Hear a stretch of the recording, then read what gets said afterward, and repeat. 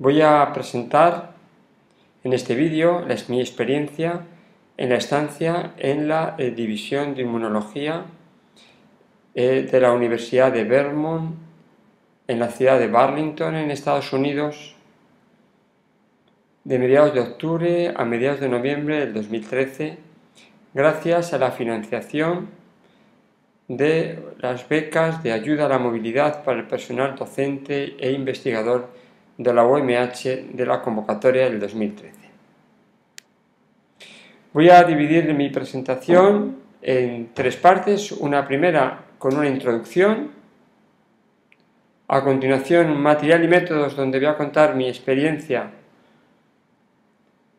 en, eh, en la Universidad de Vermont. Posteriormente pasaré los resultados tras mi estancia en la Universidad de Vermont. Y por último, unas conclusiones contando la experiencia de mi estancia allí y la definición y la aportación que me ha supuesto esa estancia.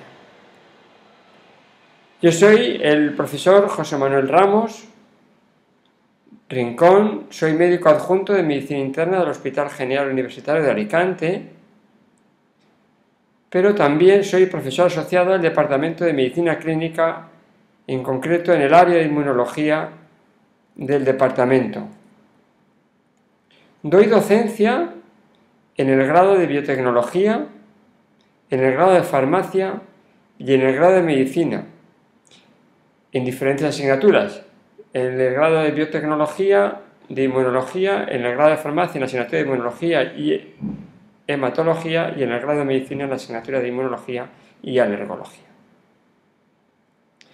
Yo tengo una línea de investigación en medicina clínica, una línea en la cual trabajo especialmente con infecciones en pacientes de edad, avanzada, en patología importada en población inmigrante y también en el campo de la salud global. Pero lo que me atañe en concreto en relación con esta beca y este proyecto es mi otra línea de investigación de inmunología e infección, especialmente en dos campos, en el campo del estudio de las citoquinas y las quimiocinas como biomarcadores de la infección en el anciano y también el papel de las citoquinas como biomarcadores en la progresión de la enfermedad de Chagas. Para ello, como he comentado al principio, solicité la ayuda para la movilidad internacional, PDI,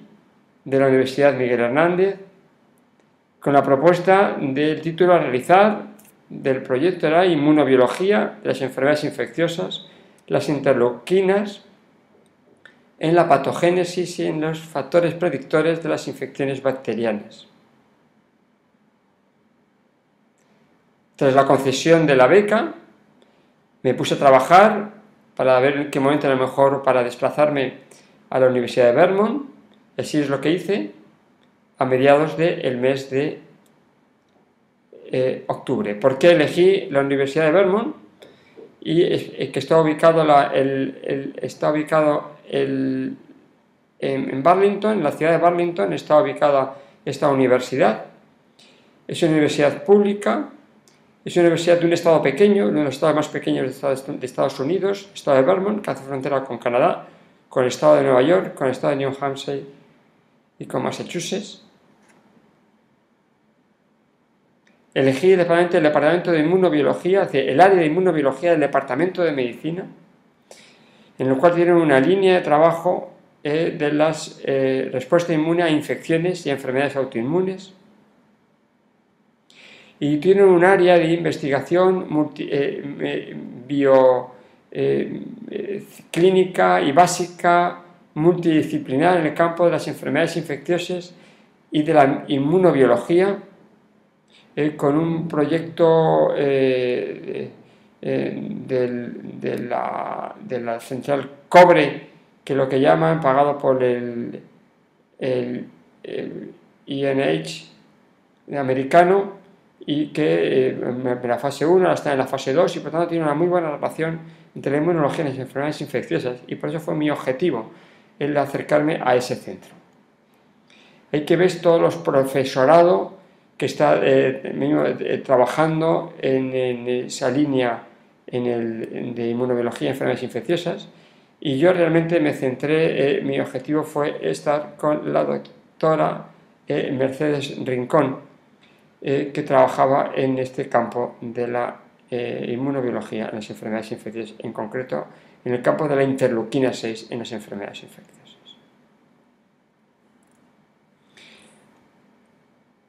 Llegamos a la Universidad de Vermont, este es el una de las áreas del departamento de, medicina y el laboratorio de inmunobiología con diferentes profesionales. Eh, está ubicado en esta tercera ah, planta y es aquí donde estaban los laboratorios donde estábamos trabajando eh, durante el mes de mi estancia. Esto es una torre muy típica de la Universidad de Vermont, que es, la, la, imagen típica de medicina de la Universidad de Vermont. Esto es la entrada a la Facultad de Medicina, la entrada al, edificio Given, es un edificio principal, eje eh, por el cual eh, pivotan todos los departamentos de, medicina. Y este, ahí entramos ya en el, área de la Vermont Center of Immunology and Infectious Disease, como hemos comentado antes, es donde eh, permanecí el mes de mi trabajo. Este es el laboratorio donde estuve trabajando gran parte del tiempo, donde estuve aprendiendo todas las técnicas. Son los laboratorios que están completamente mm, llenos de material, llenos de, gente trabajando, eh, de diferentes técnicas que están eh, eh, disponibles en diferentes ubicaciones del departamento. Y en concreto aquí, estas son unas carteles que están informativos en las diferentes áreas del departamento, las diferentes áreas de la medicina, del departamento de medicina, de Facultad de Medicina en concreto, en el cual, bueno, pues yo estuve trabajando con esta doctora, la doctora Mercedes Rincón, y la ponen como la detective dentro de la propaganda de, que, hace la propia Facultad de Medicina, igual que hay el inventor y había el clínico, pues está, estos paneles están en las diferentes áreas de la Facultad de Medicina, este está, por ejemplo, en el comedor de la Facultad de Medicina. Bueno, esta es la ciudad de, mm, de Burlington, es una ciudad pequeñita, no cerca de unos 150.000 habitantes, aunque el estado tiene cerca de 800.000 habitantes. Y bueno, es un estado, una ciudad, la zona, el downtown, la zona central, que puedes pasear, y el edificio más grande que tiene tiene siete plantas. Estos son, estos son los alrededores de la universidad, estas las famosas eh, escuelas de los estudiantes de medicina perdón, de los estudiantes de la universidad, en el cual la, escuela Sigma, eh, Phi o otras escuelas, las áreas de, donde viven los residentes de las universidades. Esto es la entrada a la, la zona de clases, el aulario, digamos, y la biblioteca de la Facultad de Medicina. A continuación voy a contar lo que hice realmente allí, en material y métodos de mi estancia, mi trabajo en el departamento, en el área de inmunobiología, de inmunología de la Universidad de Burlington, de Vermont, en Burlington. Lo primero que tienen que hacer es hacer un training de seguridad en el cual tienes que pasar una serie de requisitos, es decir, yo no puedo, no pude, aunque podía trabajar en el laboratorio, sabía cómo se trabajaba en el laboratorio, aunque sea un clínico y no tengo tanta experiencia, no, tienes que pasar unos, unos, eh, un training de seguridad para que sepas que sabes, training online, training presencial, para poder trabajar en el laboratorio, con muestras de, eh, muestras de, eh, de animales y con otro training con muestras de personas. Si no, no puedes trabajar en el laboratorio. Esto te lleva unos cuantos días antes de poder trabajar. Podías ver, pero no podías manipular ni trabajar con piezas del laboratorio. Como sabéis, siempre en, cuando uno trabaja en investigación es muy importante tener todo recogido mediante en tu libro, tu libro de, de experimentos. Y bueno, aproveché para recoger todo mi libro de experimentos, hacerme las copias de todos los experimentos que hice para traerme a España y traerme los protocolos de trabajo y de actuación en el laboratorio. Bueno, entre las cosas, muchas cosas que aprendí, son cosas que, se pueden aprender aquí y allí, eh, pues, por ejemplo, la obtención de células de la capa mononuclear de, los leucocitos mediante la técnica Histoplac, eh, cómo se obtienen los licocitos y cómo se obtienen los linfocitos en concreto de sangre de paciente o sangre de, de ratones, cómo obtenemos la capa leucocitaria de, la, de las muestras que están en, con gradiente de Ficol, cómo conseguimos, tenemos que purificar estas células para quedarnos especialmente con los leucocitos y en concreto con los linfocitos. Nos quedamos con los linfocitos CD4 o nos quedamos con linfocitos CD8 o nos quedamos con las células natural killer dependiendo de lo que queramos y eso lo hacemos con la técnica de los magnetic bead. Es una técnica de, que permite la separación de los linfocitos por eh, partículas magnéticas.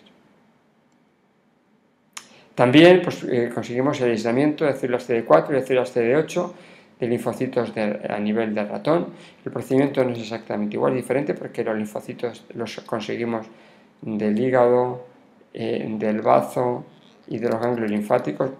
de ganglios linfáticos y del hígado y del bazo, perdón. Es como conseguimos estos leucocitos eh, y luego posteriormente los linfocitos, una técnica que es muy meticulosa, con muchísimo cuidado y bueno, pues está aquí más o menos recogida y bueno, pues estuvimos obteniendo linfocitos de ratón. También, tras obtener los linfocitos, pues muchas veces lo que hacemos activamos, los activamos con interleuquina 15 o activamos con interleuquina 6 y tras un cierto tiempo, digo 16 horas o 24 horas, se lava y luego determinábamos eh, si eh, realmente la producción de otras determinadas citoquinas que nos interesan, en este caso la 21 o en este caso la 45, veíamos los 17, veíamos realmente si la interleuquina es la capaz de estimular la producción de otras citoquinas, de otras interleuquinas, tras un cierto tiempo de incubación, las 24, 48 horas o 72 horas. Eh, luego, pues veíamos si en el sobrenadante, estas células, pues producción de determinadas interleuquinas, eh, tras la estimulación con la interleuquina 6, que hacíamos con una ELISA, una ELISA de sándwich de muestras humanas, una ELISA que no es una ELISA comercial, ahí había que ahorrar, tenemos con una ELISA, eh, digamos, eh, manual, que me suponía pues más o menos pues, todo el día, eh, haciendo lavados, haciendo diferentes lavados, fijaciones y diferentes fases de una ELISA que me podía tirar pues, con la determinación de una ELISA pues, todo el día.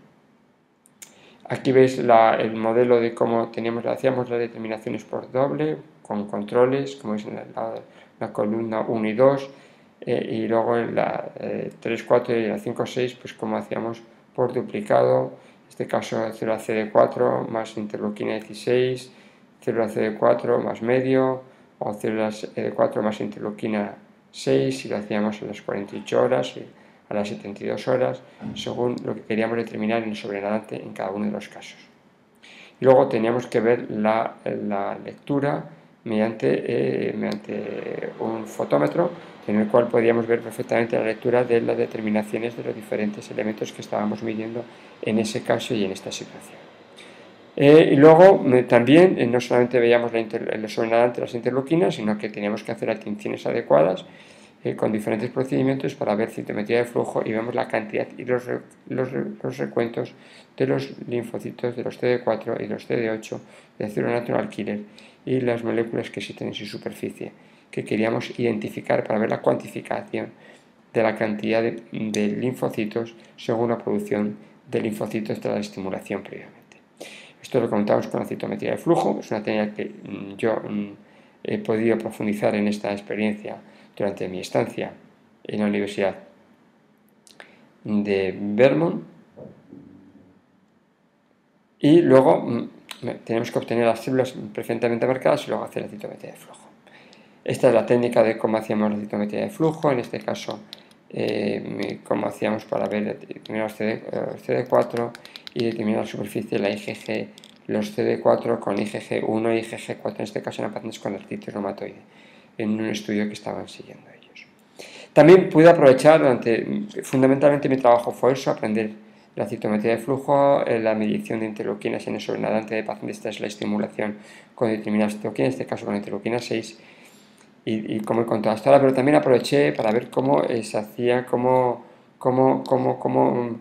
cómo, cómo hacían los ratones knockout, knock-in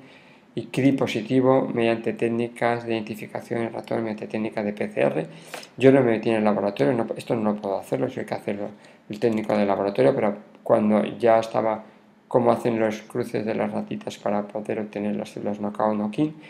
cómo lo hacían y bueno, estuve con ellos cómo hacían por técnica de PCR identificar si realmente esta célula eh, este, este, esta, esta estirpe de ratones eran células knockout,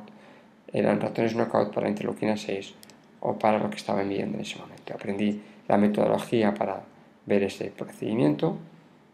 Luego también eh, pues, la técnica de extracción nuclear eh, de tanto citosol como nucleolar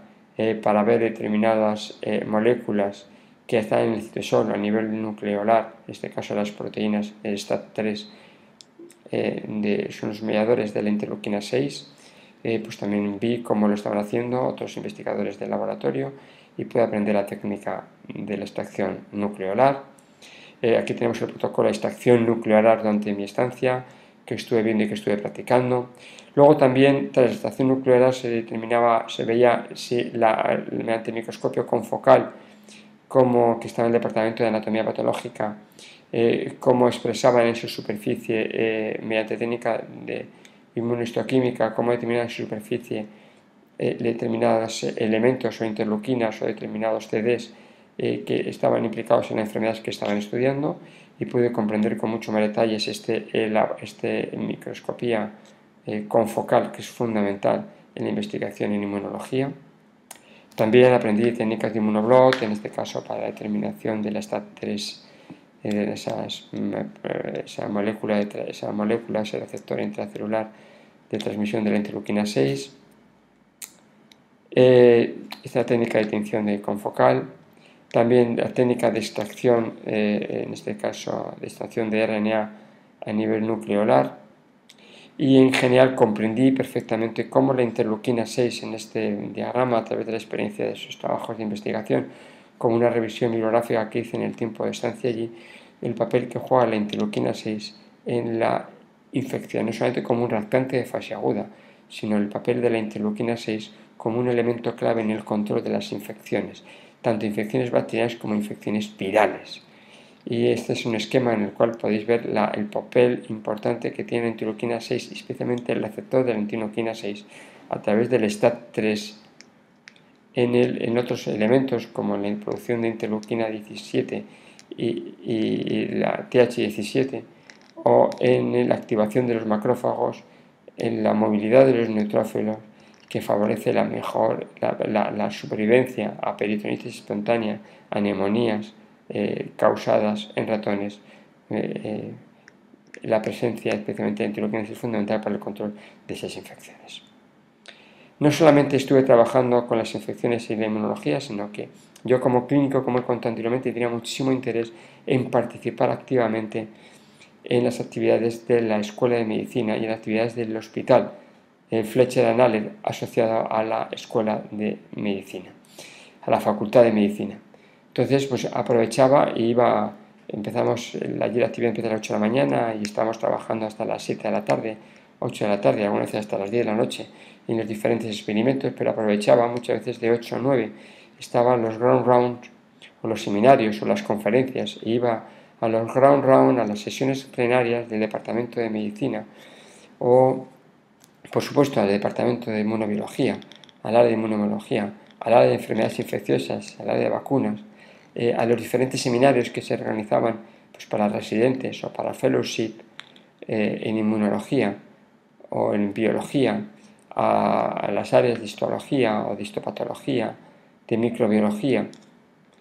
También eh, tuve la oportunidad de asistir a las ground round que se hacían al momento de la comida, de 12 a 1, aprovechábamos comer y asistir a las sesiones y aprender cuál es el mecanismo científico unido con la investigación básica y la investigación clínica. Eh, también eh, asistí a, otros seminarios, este seminario de la iniciativa Spark, que es una iniciativa que estaba programada, que se hacía en estas salas individuales, estaba programada para, dar, eh, para incentivar a los investigadores básicos en la investigación translacional y en la generación de patentes. eh, tuve la oportunidad de asistir a otras reuniones, otros simposios, en este caso de investigación clínica translacional sobre cáncer y epigenética, eh, muy, muy, muy interesante y muy productivo. Y luego también pues me aproveché para las clases, especialmente fui a las clases de los alumnos. Hubo un bloque que se dio de patología de salud global a los alumnos de quinto de medicina. Aproveché a poder asistir a esas clases a los alumnos de, medicina de quinto que daban unos seminarios especial eh, obligatorios sobre salud global, un tema que, como he contado anteriormente, no había investigación. No fui especialmente a hacer esto, pero aproveché a ver cómo se daban esos seminarios de salud global a los estudiantes de medicina. En general, eso fue toda mi actividad allí. ¿Y cuál ha sido el producto de mi investigación? El producto de mi investigación ha sido un producto docente muy, muy, muy interesante. He dado, he dado pues, eh, clases a los alumnos sobre el papel del tocilizumab, que es un, es, es un fármaco que bloquea el receptor soluble de interleuquina 6 y, por tanto si bloqueas la interleuquina 6, bloqueas la actividad de la interleuquina 6 y se puede ver realmente cuál es el papel que puede jugar el papel de la interleuquina 6 en el control de la infección si tú lo estás bloqueando, en este caso con el tocilizumab, he hecho una revisión del tocilizumab y he aprovechado para dar una sesión clínica también a los especialistas de mi centro de trabajo. He trabajado también dando eh, sesiones de la docencia del papel de la interleuquina 6 en el control de las infecciones. Y también he aprovechado también he dado eh, en otra presentación que he dado especialmente en español, en cual infecciones asociadas al tratamiento dirigido frente a moléculas biológicas, como por ejemplo el tocilizumab, el infliximab, el, el, el colimumab o el, el rituximab, etc.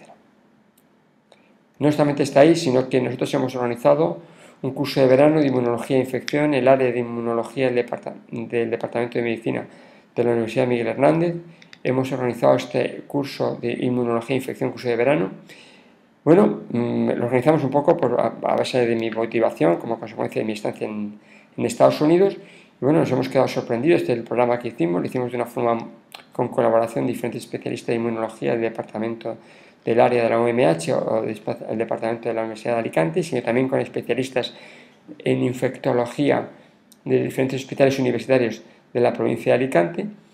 eh, que veis el programa. Y no, bueno, nos hemos quedado sorprendidos, bueno, que íbamos a pensar que íbamos a apuntarse 20, 25 alumnos. Bueno, pues al final se apuntaron 55 alumnos, tuvimos que hacer en el salón de actos del Hospital General Universitario de Alicante, dado que estaba completamente lleno el, aula que habíamos seleccionado no era posible. Eh, aquí veis diferentes ponentes eh, del primer día de las jornadas. Fue muy interesante y realmente una gran satisfacción por parte nuestra como área de investigación, como área de inmunología, sino también por parte de los alumnos muy satisfechos del curso y también de los otros profesores invitados a dar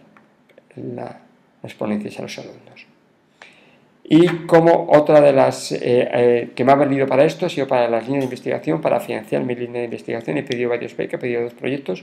dos proyectos de la Fundación para el Fomento de la Investigación Sanitaria y Biomédica de la Generalitat Valenciana, un proyecto para evaluar el perfil de las citoquinas en las enfermedades de Chagas importadas y su asociación con el genotipo de tripanosoma cruzi infectante, y otro proyecto en el cual llevo ya trabajando en infecciones en pacientes de edad avanzada, en el cual hemos pedido un proyecto para, ver, eh, para evaluar las citoquinas y las quimiocinas como biomarcadores de gravedad y biomarcadores pronósticos en la neumonía adquirida en la comunidad en pacientes de edad avanzada e ingresados en este caso en el Hospital General Universitario de Alicante. Espero que esta, estas dos líneas de investigación, esta línea de investigación con dos áreas, eh, salud global y área en enfermedades en pacientes de edad avanzada, den su fruto pero necesitamos fuentes de financiación para trabajar en el aspecto. Y ya por último, para concluir de mi experiencia en la Universidad de, mm, de Vermont, en, la ciudad de Burlington, hay que decir que la experiencia es inigualable, no solamente desde el punto de vista turístico, que vemos un cover bridge precioso de los que hay en este estado,